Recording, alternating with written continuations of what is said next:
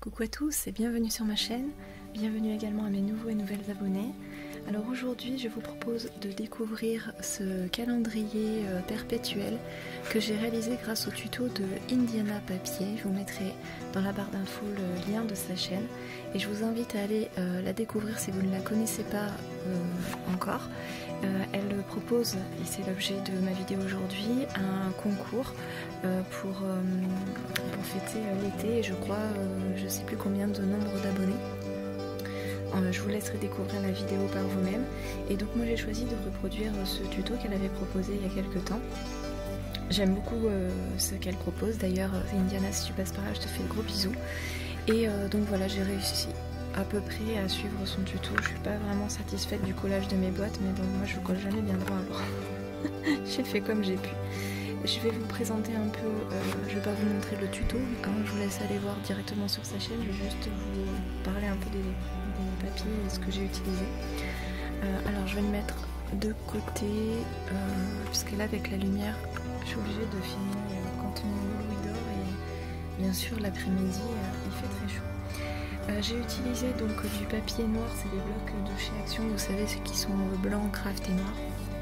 J'ai essentiellement utilisé celle-ci de collection, c'est une très vieille collection que j'avais, que j'aime beaucoup, il me reste encore pas mal de papier à l'intérieur s'appelle donc Lovely Mystery. Et euh, j'ai utilisé aussi un petit peu de celui-ci, euh, notamment pour les, euh, les, jours. celui-ci, je l'aime beaucoup aussi, mais c'est vrai que j'ai du mal à taper dans mes papiers que j'aime beaucoup parce que je me suis dit, oh non, je vais peut-être les garder pour un autre projet. Au final, je les utilise pas, donc c'est dommage. Euh, donc il se présente comme ceci, il y a plusieurs compartiments pour euh, les chiffres. Donc on a euh, les dizaines et ensuite les unités. J'ai utilisé tout simplement des stickers pailletés argentés que j'avais dans, dans mon stock. Pour les jours, j'ai utilisé un, décalcomanie que j'avais eu dans un, pareil, un calendrier perpétuel que j'avais dû acheter il y a très longtemps. Et comme ils en fournissent déjà beaucoup, euh, j'ai voulu rester dans le même thème. Donc j'ai tout fait en anglais. Voilà, euh, l'arrière j'ai rien mis euh, derrière.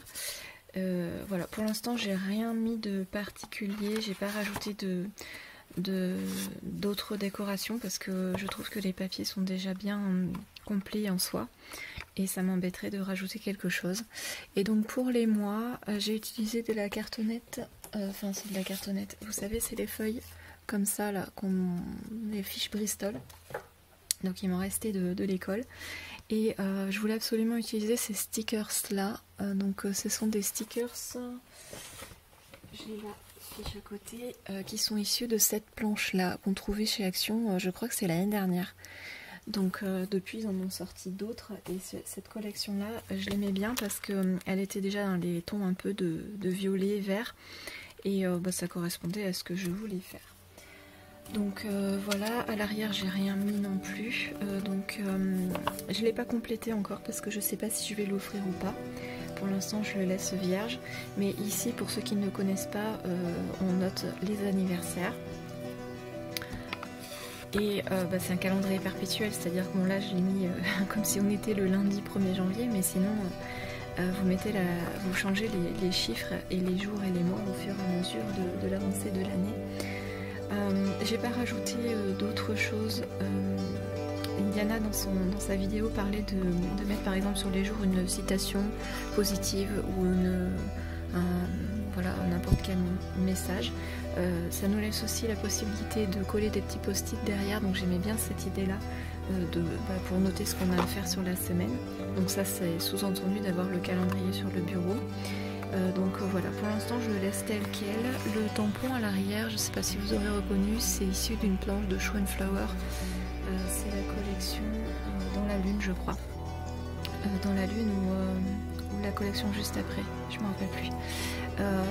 donc, donc voilà, non, je crois que c'est dans la Lune celui-ci.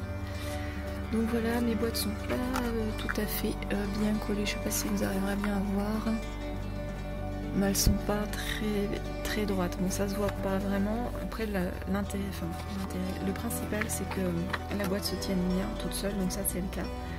Donc voilà, et j'ai choisi des papiers justement un peu épais pour renforcer un peu mon, papier d'action, même si le papier d'action il est déjà épais en soi.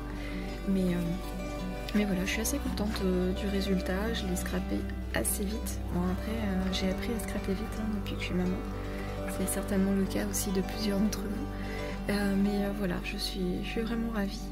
Euh, voilà, c'était tout pour aujourd'hui. C'était une toute petite vidéo. J'espère que ça vous aura plu. Si c'est le cas, n'hésitez pas à mettre un petit pouce en l'air, à vous abonner et surtout à activer la petite cloche pour être averti de mes prochaines publications. Je vous laisse et je vous dis à très bientôt pour une prochaine vidéo. Salut